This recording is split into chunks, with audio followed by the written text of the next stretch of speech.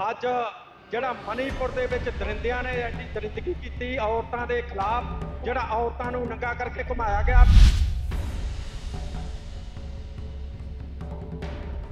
BJP ਦੀ ਜਿਹੜੀ ਸਰਕਾਰ, ਉੱਥੇ ਤੁਰੰਤ ਉਹਨੂੰ ਅਸਤੀਫਾ ਦੇਣਾ ਚਾਹੀਦਾ।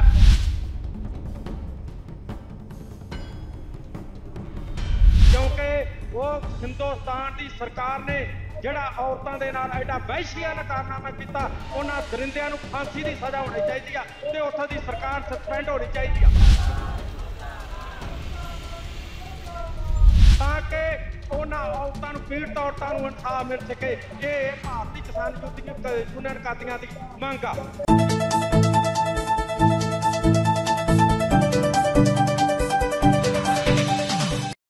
ਪ੍ਰੀਤਮ ਸਿੰਘ, ਭਾਰਤੀ ਕਿਸਾਨੀ ਕਾਦੀਆਂ ਜ਼ਿਲ੍ਹਾ ਪ੍ਰੈਸ ਸਕੱਤਰ ਅੱਜ ਜਿਹੜਾ ਮਨੀਪੁਰ ਦੇ ਵਿੱਚ ਦਰਿੰਦਿਆਂ ਨੇ ਐਡੀ ਦਰਿੰਦਗੀ ਕੀਤੀ ਔਰਤਾਂ ਦੇ ਖਿਲਾਫ, ਜਿਹੜਾ ਔਰਤਾਂ ਨੂੰ ਨੰਗਾ ਕਰਕੇ ਘੁਮਾਇਆ ਗਿਆ। ਬੀਜੇਪੀ ਦੀ ਜਿਹੜੀ ਸਰਕਾਰ, ਉੱਥੇ ਤੁਰੰਤ ਉਹਨੂੰ ਅਸਤੀਫਾ ਦੇਣਾ ਚਾਹੀਦਾ, ਕਿਉਂਕਿ ਉਹ ਹਿੰਦੁਸਤਾਨ ਦੀ ਸਰਕਾਰ ਨੇ ਜਿਹੜਾ ਔਰਤਾਂ ਦੇ ਨਾਲ ਐਡਾ ਵਹਿਸ਼ੀਆਨਾ ਕਾਰਨਾਮਾ ਕੀਤਾ, ਉਹਨਾਂ ਦਰਿੰਦਿਆਂ ਨੂੰ ਫਾਂਸੀ ਦੀ ਸਜ਼ਾ ਹੋਣੀ ਚਾਹੀਦੀ ਆ ਤੇ ਉੱਥੋਂ ਦੀ ਸਰਕਾਰ ਸਸਪੈਂਡ ਹੋਣੀ ਚਾਹੀਦੀ ਆ। ਤਾਂ ਕਿ ਉਹਨਾਂ ਔਰਤਾਂ ਨੂੰ, ਪੀੜਤ ਔਰਤਾਂ ਨੂੰ ਇਨਸਾਫ ਮਿਲ ਸਕੇ।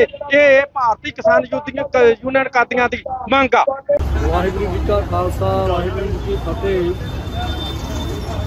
ਅੱਜ ਅਸੀਂ ਜੀਰਾ ਸ਼ਹਿਰ ਦੇ ਵਿੱਚ ਟ੍ਰੇਡ ਯੂਨੀਅਨ ਦੇ ਸੱਦੇ ਤੇ ਸਮੂਹ ਜੀਰੇ ਦੀਆਂ ਧਾਰਮਿਕ, ਸਮਾਜਿਕ ਅਤੇ ਕਿਸਾਨ ਜਥੇਬੰਦੀਆਂ ਮਜ਼ਦੂਰ ਮੁਲਾਜ਼ਮ ਜਥੇਬੰਦੀਆਂ ਦੇ ਵੱਲੋਂ ਜੋ ਮਣੀਪੁਰ ਦੇ ਵਿੱਚ ਪਿਛਲੇ ਦਿਨੀ ਔਰਤਾਂ ਦੇ ਉੱਪਰ ਤਸ਼ੱਦਦ ਕੀਤਾ ਗਿਆ ਹੈ, ਔਰਤਾਂ ਨੂੰ ਨੰਗਾ ਘੁਮਾਇਆ ਗਿਆ, ਉਹਨਾਂ ਦੇ ਨਾਲ ਬਲਾਤਕਾਰ ਕਰ ਕੀਤਾ ਗਿਆ, ਅਤੇ ਗੋਲੀਆਂ ਚਲਾਈਆਂ ਗਈਆਂ।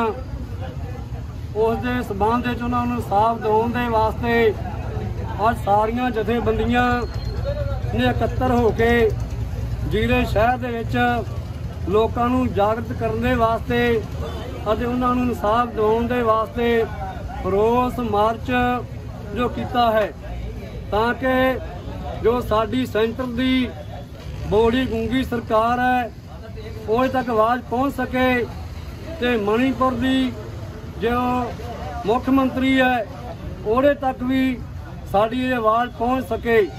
ਤੇ ਉਹਨਾਂ ਦਰਿੰਦਿਆਂ ਨੂੰ ਜੋ ਮੌਤ ਦੀ ਸਜ਼ਾ ਦਿੱਤੀ ਜਾ ਸਕੇ। ਬੜੀ ਸ਼ਰਮਨਾਕ ਗੱਲ ਹੈ ਕਿ ਅੱਜ ਇੰਨੇ ਦਿਨ ਬੀਤ ਜਾਣ ਦੇ ਬਾਵਜੂਦ ਵੀ ਨਾ ਤਾਂ ਸੈਂਟਰ ਸਰਕਾਰ ਵੱਲੋਂ ਕੋਈ ਸਟੈਂਡ ਲਿਆ ਗਿਆ ਹੈ ਤੇ ਨਾ ਹੀ ਮਣੀਪੁਰ ਦੇ ਸਰਕਾਰ ਦੇ ਵੱਲੋਂ ਕੋਈ ਇਨਸਾਫ ਲਿਆ ਗਿਆ ਹੈ।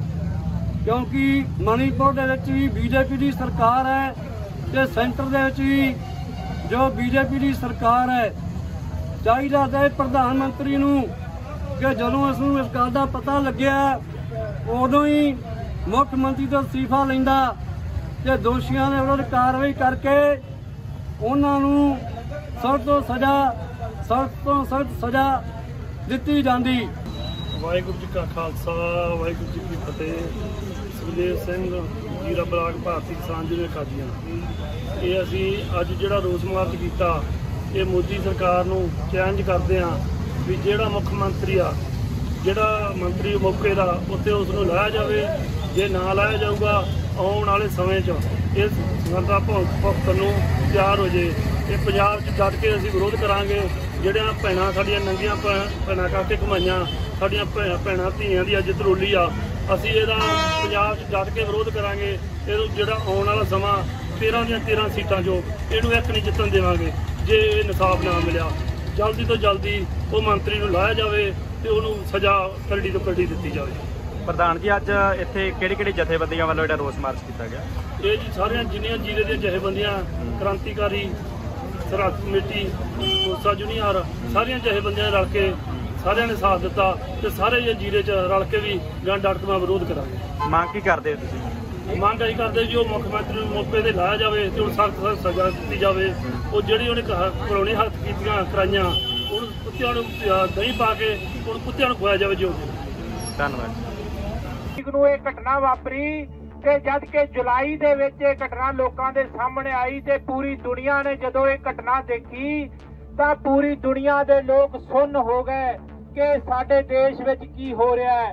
ਪ੍ਰਧਾਨ ਮੰਤਰੀ ਨੇ ਖੁਦ ਮੰਨਿਆ ਕਿ ਸਾਡਾ ਸਿਰ ਜਿਹੜਾ ਉਹ ਸ਼ਰਮ ਨਾਲ ਝੁਕ ਪਰ ਪ੍ਰਧਾਨ ਮੰਤਰੀ ਨੇ ਇੰਨੀ ਹਿੰਮਤ ਨਹੀਂ ਕੀਤੀ ਕਿ ਉੱਥੋਂ ਦੀ ਸਰਕਾਰ ਨੂੰ ਕਵੇ ਕਿ ਉਹ ਚਲਦੀ ਬਣੇ।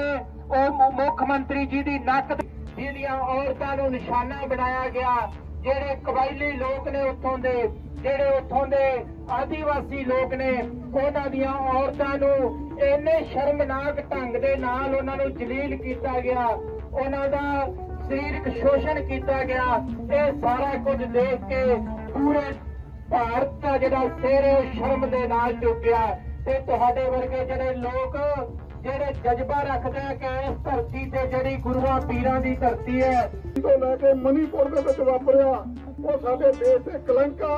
ਸਾਡੀ ਇਥੋਂ ਦੀ ਹਾਕਮ ਸਰਕਾਰ ਆ ਜਿਹੜੀ, ਬੀਜੇਪੀ ਦੀ ਸਰਕਾਰ ਆ, ਮੋਦੀ ਪ੍ਰਧਾਨ ਮੰਤਰੀ ਆ, ਉਹ ਇਹ ਮੱਥੇ ਤੇ ਕਲੰਕ ਆ ਕਿ ਬਾਹਰਲੇ ਦੇਸ਼ ਸਾਨੂੰ ਸਵਾਲ ਕਰਦੇ ਆ ਕਿ ਜਿਹੜੇ ਦੇਸ਼ ਕੋਈ ਦੀ ਪ੍ਰੋਬਲਮ ਆਈ ਆ। ਔਰਤਾਂ ਨੂੰ ਨੰਗਾ ਕਰਕੇ 2 ਕਿਲੋਮੀਟਰ ਤੱਕ ਇੱਕ ਤਰ੍ਹਾਂ ਦਾ ਘੜੀਸਿਆ ਗਿਆ ਵਾ। ਫਿਰ ਉਹਨਾਂ ਨੂੰ 6 ਤੋਂ 7 ਜਾਣਾਂ ਨਾਲ ਉਹਨਾਂ ਨਾਲ ਬਲਾਤਕਾਰ ਕੀਤਾ ਵਾ। ਉਹਦੇ ਭਰਾ ਦੀ ਮੌਤ ਉਹਨੂੰ ਸਾਹਮਣੇ ਗੋਲੀ ਮਾਰ ਕੇ ਮਾਰ ਦਿੱਤਾ ਵਾ। ਤਾਂ ਉਸ ਔਰਤ ਤੇ ਕੀ ਬੀਤਦੀ ਹੋਊਗੀ? ਸੋ ਮੈਂ ਪੰਜਾਬ ਦੀਆਂ ਵੀ ਔਰਤਾਂ ਨੂੰ ਨੂੰ ਇਹ ਘਟਨਾ ਵਾਪਰੀ ਤੇ ਜਦ ਕਿ ਜੁਲਾਈ ਦੇ ਵਿੱਚ ਇਹ ਘਟਨਾ ਲੋਕਾਂ ਦੇ ਸਾਹਮਣੇ ਆਈ ਤੇ ਪੂਰੀ ਦੁਨੀਆ ਨੇ ਜਦੋਂ ਇਹ ਘਟਨਾ ਦੇਖੀ ਤਾਂ ਪੂਰੀ ਦੁਨੀਆ ਦੇ ਲੋਕ ਸੁਣ ਹੋ ਗਏ ਕਿ ਸਾਡੇ ਦੇਸ਼ ਵਿੱਚ ਕੀ ਹੋ ਰਿਹਾ ਹੈ। ਪ੍ਰਧਾਨ ਮੰਤਰੀ ਨੇ ਖੁਦ ਮੰਨਿਆ ਕਿ ਸਾਡਾ ਸਿਰ ਜਿਹੜਾ ਸ਼ਰਮ ਨਾਲ ਝੁਕ ਹੈ। ਪਰ ਪ੍ਰਧਾਨ ਮੰਤਰੀ ਨੇ ਇੰਨੀ ਹਿੰਮਤ ਨਹੀਂ ਕੀਤੀ ਕਿ ਉੱਥੋਂ ਦੀ ਸਰਕਾਰ ਨੂੰ ਕਵੇ ਕਿ ਉਹ ਚਲਦੀ ਬਣੇ।